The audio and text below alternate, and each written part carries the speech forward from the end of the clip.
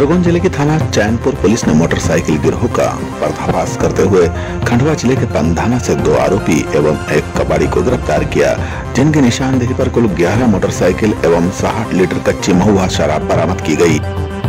गिरफ़्तार आरोपियों में 30 वर्षीय अर्जुन पिता राम नारायण कुशवाहा महाजन निवासी आरूद रोड पंधाना जिला खंडवा 24 वर्षीय मुकेश उर्फ़ भूरा पिता जसवंत कुशवाहा निवासी आरूद रोड पंधाना जिला खंडवा 32 वर्षीय इरफान पिता इकबाल शाह, जाति फकीर निवासी दुर्गा कॉलोनी, वार्ड क्रमांक 14 पंधाना जिला खंड का नाम सामने आया है। पुलिस द्वारा आरोपियों से पूछताछ में और खुलासे होने की संभावना जताई जा रही है। झिरनिया से प्रेम सिंह बामनिया की रिपोर्ट।